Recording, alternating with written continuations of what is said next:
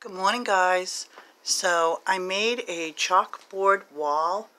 Um, I painted it on my wall and I'll show you what I used, okay? And it's 25 inches by 25 inches. So first I measured the square out with the leveler that I actually got at Dollar Tree a couple of years ago, okay? I used a pencil. Then I put painter's tape all around the edges, you know, of the pencil mark then I painted on the inside of the tape, and then I got this painter's tape at the Dollar Tree too. And that's how I did that, guys, okay?